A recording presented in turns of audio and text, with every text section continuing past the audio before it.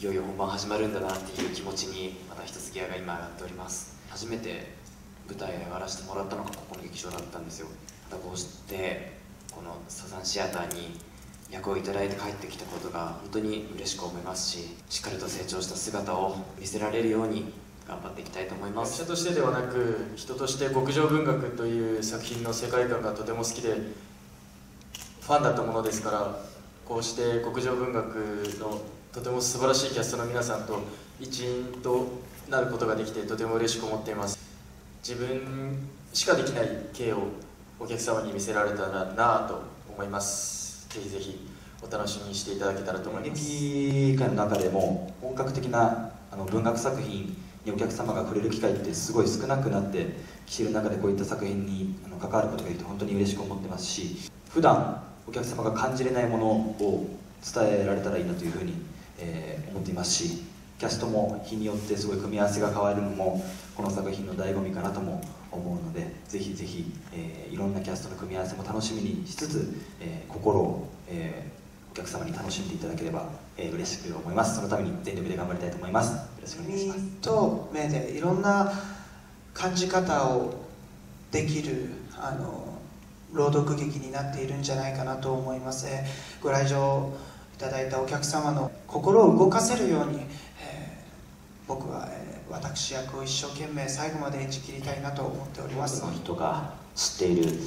日本ですごく昔から愛されてきた作品をこうやって舞台化するっていうのはとってもプレッシャーでもあるんですけども、えーマルチキャスティングではありますがみんなで心をつないで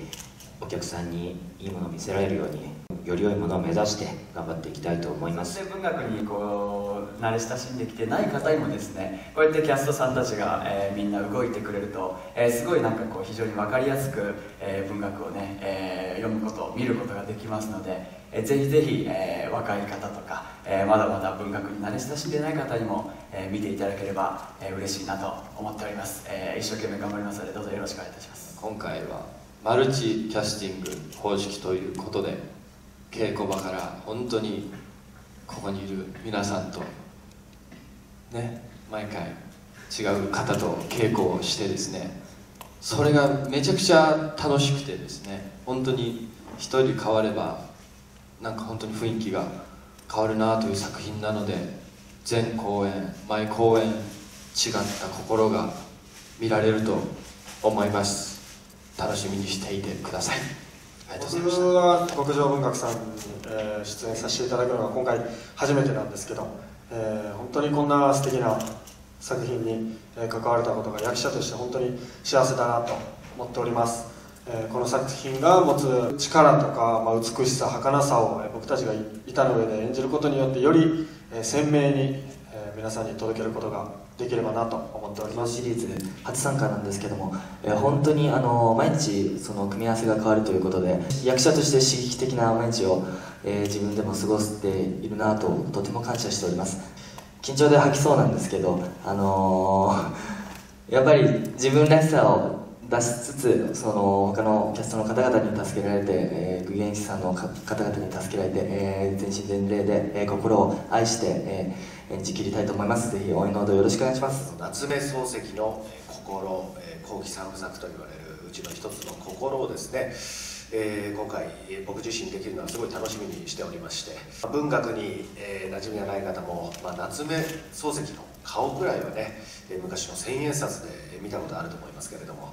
えこの夏目漱石はどういう人物だったのか、えー意外と調べてみるとすごい面白いエピソードたくさんある人物なんですけれども若くして亡くなったんですけれどもその最後の、え方で、え書いた作品「心」これに僕はすごい、こもってるなと思ってましていつの時代も文学は、えー人が人に、えー書いてるもの残しているものだと思っているので、えー時代関係なく、えー皆様の心にも届くなと、えー思っております。そして、えー本格的な文学作品でございますけれども、えー、2名麗しい男子たちが、えーあんな姿やこんな姿になって、えーこれ大丈夫なのかなっていうところまで、えーお見せする、まあ、僕とウッキーさんねもちょっと耳を麗しい男子ではないので、えー、そこら辺はね、えー、あのあれなんですけども他の見目麗しい男子のいろんな素肌素顔が、えー、見れるということだけお伝えしておきたいなと思います、えー、今後期待ということで、えー、ありがとうございました。